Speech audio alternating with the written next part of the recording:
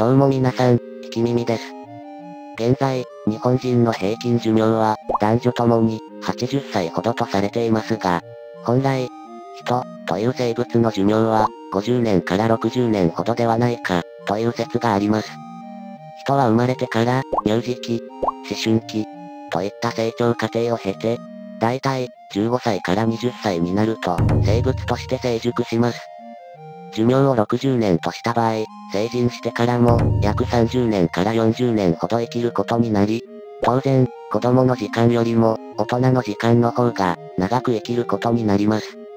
しかし、生き物の中には、人とは違い、大人よりも、子供の時間の方が長いものもいるのです。そんなわけで今回は、カゲロウという昆虫について解説していきます。カゲロウは、カゲロウ目、もしくは、浮遊類に分類されている昆虫の総称です。本動画では、カゲロウ全体のことについて解説していきます。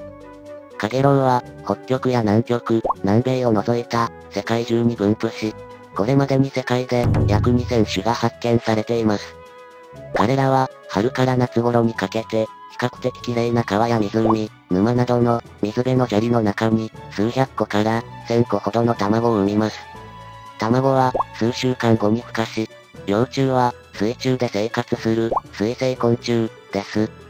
大きさは数センチ、足が6本、やや扁平な体で、腹部の後方に3本の細長い尾のような部分があり、呼吸のため、腹部に7対のエラを持つ構造が基本形なのですが、体の大きさや形は、生息環境や種類によって、違いが見られます。餌は、川底や石などに付着した、藻類や、植物や動物の遺骸である、テトリタス、と呼ばれる、有機物有子を餌にしています。カゲロウ目の幼虫は、すべて例外なく水中で生活し、幼虫の状態は、別名、ニンフ、とも呼ばれています。脱皮を繰り返して成長するのですが、脱皮回数型の昆虫に比べて多く、10回、種類によっては、40回に及ぶものもいるんだとか。幼虫の状態で、半年から数年を過ごした後、自ら上がり、脱皮をすると、晴れて成虫になりません。カゲロウ目が幼虫から浮かしたばかりの状態を、亜成虫と言います。この、亜成虫の状態は、見た目自体は、成虫の状態とほとんど変わらないのですが、生殖機能がまだ未完成なので、生殖活動を行うことができません。口がないため、餌を取る必要はないものの、飛んで移動することはできるため、水辺の草や樹木などに捕まって、数時間から数日を過ごした後、最後の脱皮を行い、今度こそ、晴れて成虫になります。成虫の大きさは、数ミリから、2、30ミリほどで、紐のような細長い体に、頭部には短い触覚、胸部には2枚の羽、腹部の後方には、糸のように細長い、尾のような部分があり、この部分が、生殖器になっています。口は退化しており、種によっては水を少し飲めるくらいで、ほとんどの種は、飲み食いをすることはありません。水場や、その周辺に生息し、急降下と急上昇を繰り返す、独特の飛行をしながら、子孫を残す相手を探します。パートナーを見つけて生殖活動を終えると、すぐに死んでしまいます。寿命は最短で、1時間から3時間、平均に3日、最長でも1週間、と、非常に短いです。成虫の体は、子孫を残すためだけのものと考えられ、移動するための羽と、生殖器以外は退化しており、内臓に至っては、生命を維持するための神経以外は、ほぼ何もない状態なんだとか。基本的に夜行性で、一斉に成虫が発生します。このことと、寿命が短いことには関連性があり、子孫を残すタイミングを、あえて短くすることにより、天敵と遭遇しにくくなり、また、遭遇しても、一斉に成虫になることで、多少的に襲われても、全滅さえしなければ、確実に子孫を残すことができるため、このような生態になったのではないかと考えられています。カゲロウのように、さなぎの過程を経ずに、成虫になることを、不完全変態、というのですが、一度成虫に近い形になる、亜成虫の状態を経て、成虫になる昆虫は、現在、カゲロウ目の昆虫のみとなっています。ちなみに、亜成虫と成虫の見た目の違いですが、種類によって多少の差はあるものの、亜成虫は、羽が黄色っぽく、体の色も、全体的に黒っぽい感じなのに対し、成虫は、羽が透明で、体が全体的に白っぽい感じで、足も、亜成虫に比べて、細くなっています。しかし、パッと見では、ビビたる違いであるため、素人に判別するのは難しそうです。カゲロウの歴史は古く、トンボやゴキブリの先祖と同様、約3億年前にはすでに、地球上に生息していたと考えられています。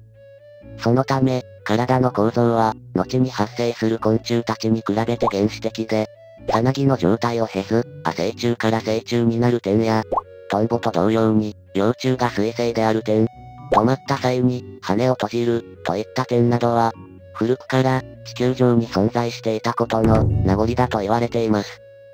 古くから存在していたため、昔から人々に認識されており、古代ギリシャの哲学者、アリストテレスが表した動物や生物に関する研究所である動物史などの書物や多くの文学作品などに登場したりしています。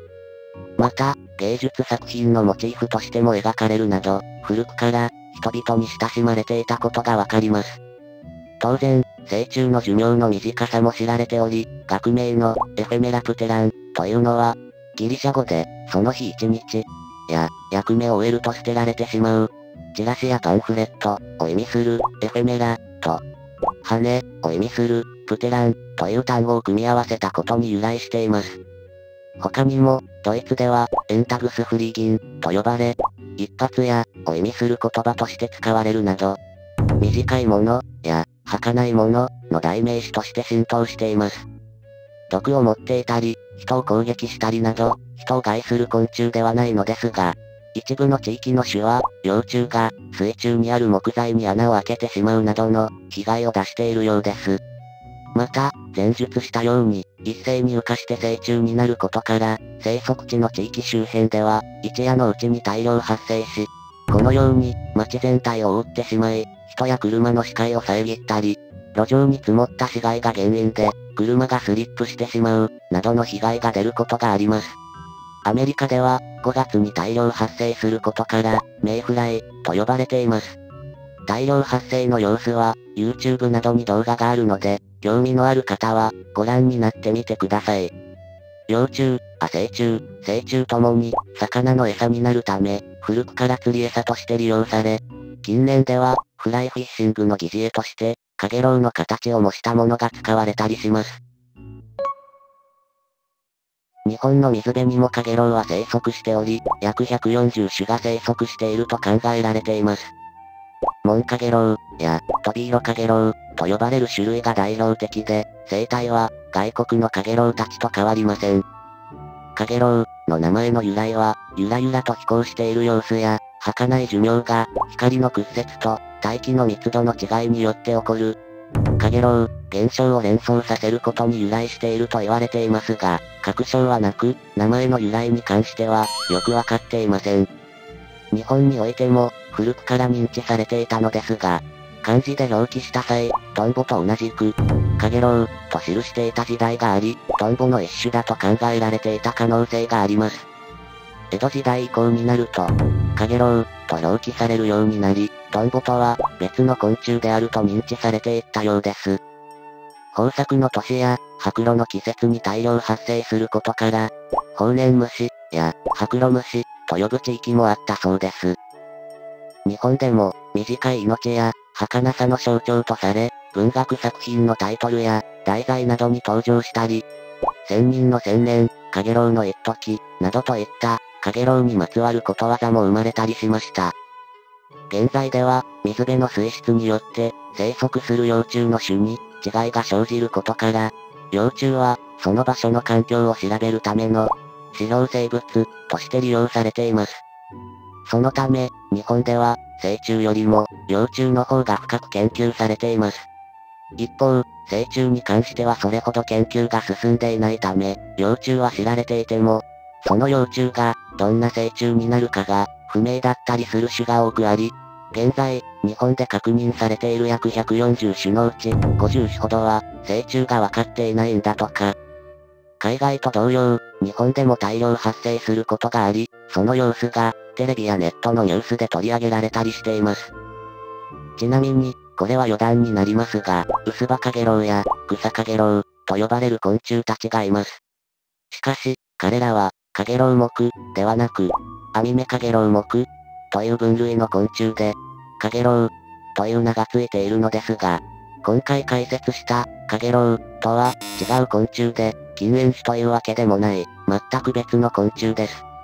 彼らも昔は、カゲロウや、トンボと同じ昆虫だと思われていたようです。